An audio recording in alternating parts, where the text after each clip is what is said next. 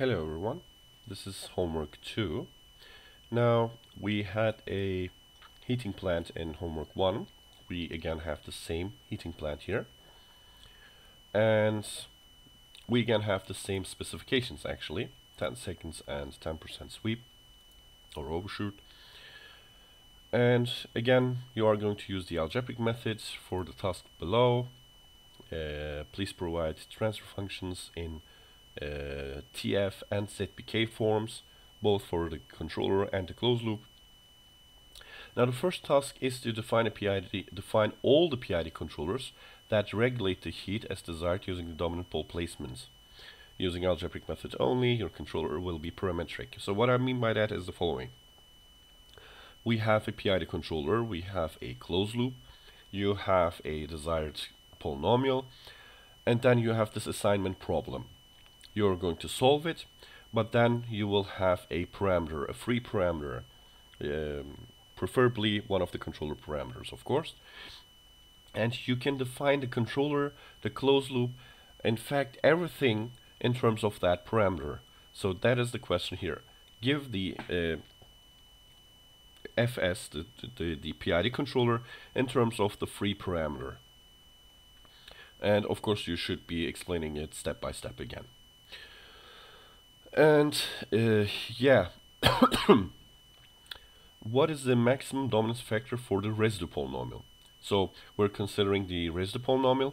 Once you have completed Q1, you transition into Q2 and look at the uh, residue polynomial because in Q1 we didn't choose actually a controller. We defined the family of controllers that assign the desired poles to the given specifications, to the given locations, but we didn't decide on, on anything else. Here we have the dominance factor, which means that we are looking at the real parts of the residue poles. The nearest to the origin should be far away.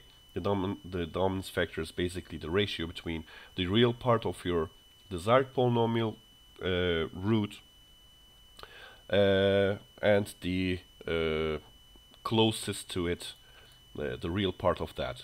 So for example, if we have minus 1 as the real part of the desired uh, poles, then we have minus 5 as the closest one, so it's going to be 5 times dominant. So that's basically the dominance factor here. So the question is, um, what is the maximum dominance factor for the residue polynomial?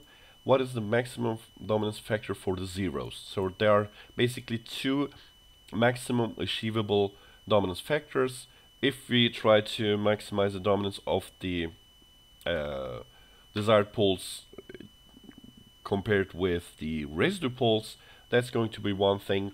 Or we can try to push the zeros away as far as possible. That will give us a, a different dominance factor in terms of zeros.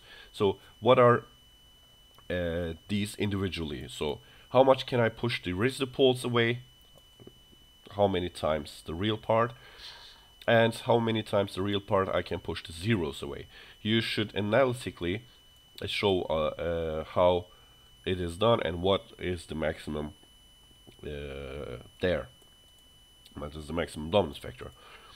And based on these two, what is the overall maximum dominance factor? Because we are trying to push all the zeros and the residue poles away. So uh, how much weight can I uh, assign them? What is the overall dominance factor? There's a dominance factor in terms of residue polynomial, dominance factor in terms of zeros. What is the overall maximum dominance factor? Now, once you have uh, done that, of course, you show uh, you should also give us the results of that maximum dominance factor. So there should be a controller, a closed loop, step responses, etc. You should pick a, a solution here. This is not just a question, you should answer the question and show the results here in Q2. in Q1 we didn't have any results, it would just be parametric, but in Q2 there should be step responses, a, an ideal PID controller. Now in Q3 you are asked to rearrange your PID controller to get rid of the adverse effects of the controller's zeros and maximize the dominance factor of the desired poles. So this is basically um, a special question in this case how can we get rid of the adverse effects of the zeros?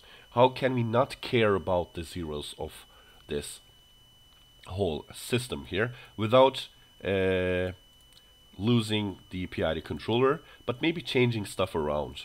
So this is a special question. You should immediately recognize what this means or understand what it means. If not, look into your notes. And then we also have the last question where we're asking for a model matching controller to regulate the heat as desired. This is quite simple. You should just do it at once and end up with a result.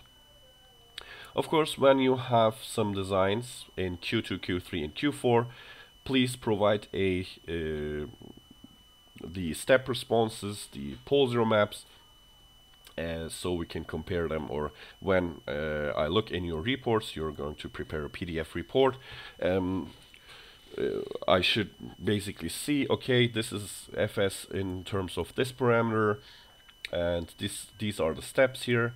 In Q2 I should see okay the residue maximum dominance factor is this and it is calculated via this and this is basically for the zeros and we have chosen basically a maximum dominance factor overall like this and the results are this the step response the pole zero map etc here I should see how we rearrange the PID controller and how uh, it kind of uh, uh, works compared to Q2 so here we should again have some uh, step responses and pole zero maps and here we should also again have step responses pole zero maps so Q2, Q3, Q4 will have basically numerical and visual results provided in the report. So good luck.